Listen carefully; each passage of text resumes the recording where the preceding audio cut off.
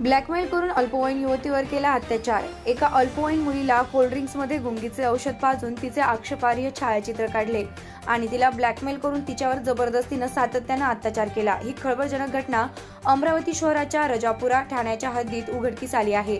या प्रकरणी पोलिसांनी एका महिलेसह एका युवकाला अटक केली आहे.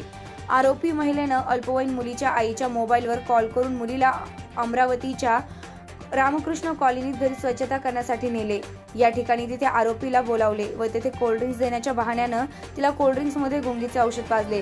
त्यानंतर पीडित अल्पवयीन मुलीचे नग्न केले तर काढल्यानंतर हे फोटो सोशल मीडियावर व्हायरल करण्याची धमकी दिली व सातत्यानं आरोपीने तिला ब्लॅकमेल करत तिच्याशी शरीर संबंध प्रस्थापित केले. ही घटना जून दोन हजार वीसमध्ये घडली. अनेकदा मुलींचे शोषण या आरोपीनं केले आहे. मात्र अखेर या लैंगिक शोषणाला कंटाळून अल्पवयीन मुलीनं पोलीस स्टेशन तक्रार दाखल केली असून यावरून पोलिसांनी आरोपीविरुद्ध पॉस्को बलात्कार अंतर्गत गुन्हा दाखल केला आहे. यामध्ये सूरज रामटेक वय चाळीस वर्ष आणि एका महिलेला अटक केली आहे. फ्रेझरपुरा हद्दीतील अल्पवयीन पीडिता. हिने फिर्याद दिली की साधारण नऊ महिन्यांपूर्वी दिनांक एकवीस पाच वीसशे वीस रोजी मला माझी मावस बहीण रक्षा बोधिले हिने नवसरी ती तिच्या घरी बोलवून सांगितले की मी आता नवीन घर घेतले रामकृष्ण कॉलनी. तिथे जाऊन आपल्याला रूमची साफसफाई करायची. त्यानिमित्ताने ती तिने तिला रामकृष्ण कॉलनीत घेऊन गेली. आणि तिथे तिचा मित्र सूरज मधुकर रामटेक्के याला बोलवून त्याची आणि पीडितेची ओळख करून दिली.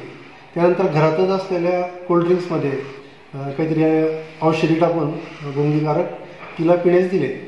त्यानंतर अं, पीडितेचे दोघांनी कपडे काढून त्याचे फोटो काढून घेतले. आणि मग ते फोटो दाखवून तिला ब्लॅकमेल करून तिच्यावर या आरोपीचं आरोपीचा मित्र सूरज मधुकर रामटेके याने जबरीने संबंध केले.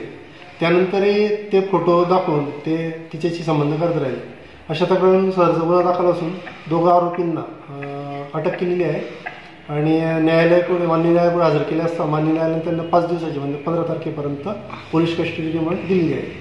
पोलीस कस्टडी रिमांडमध्ये आम्ही. ती कोणत्या मोबाईलमध्ये फोटो काढले ते मोबाईल वगैरे जप्त करून नंतर त्यांचे कपडे वगैरे घेऊन तपास करीत आहोत प्रतिनिधी सागर डोंगरे अमरावती.